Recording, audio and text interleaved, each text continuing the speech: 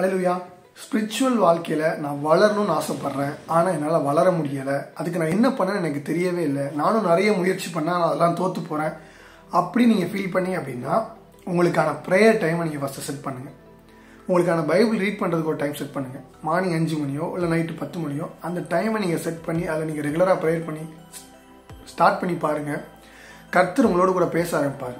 அந்த நேரம் வரும்போது ஆண்டு உணர்த்துவார் இது உன்னோட ப்ரேயர் டைம் நீங்கள் இருக்காத. நீ போய் ப்ரேயர் பண்ணுன்னு சொல்லி ஆண்டு பேச ஆரம்பிப்பார் நீங்கள் ரெகுலராக அந்த ப்ரேயர் அண்ட் பைபிள் ரீடிங்குள்ளே வரும்போது உங்களுக்கு ஒரு ஃபீல் நமக்குள்ள நம்ம கூட கர்த்தர் இருக்கிறாரு நம்ம போகிற பாதையில் கர்த்தர் இருக்கிறாரு நம்மளுடைய எல்லா கிரியைகளையும் கர்த்தர் பார்க்கிறாருங்கிற உங்களுக்கு ஒரு சாட்டிஸ்ஃபைடு இருக்கும்.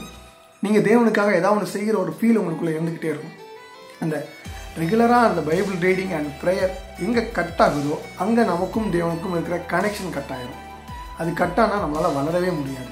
ஸோ இதை மஸ்ட்டாக ஃபாலோ பண்ணி பாருங்கள் இன்றைக்கி இந்த உலகத்தை ஜெயித்த பெரிய பெரிய ஊழியக்காரங்களாக இருக்கட்டும் மிஷினரிகளாக இருக்கட்டும் ப்ரே அண்ட் பைபிலிட்டி இந்த ரெண்டு விஷயத்தை மட்டும்தான் ஃபாலோ பண்ணாங்க. வேறு ஒன்றுமே இல்லை.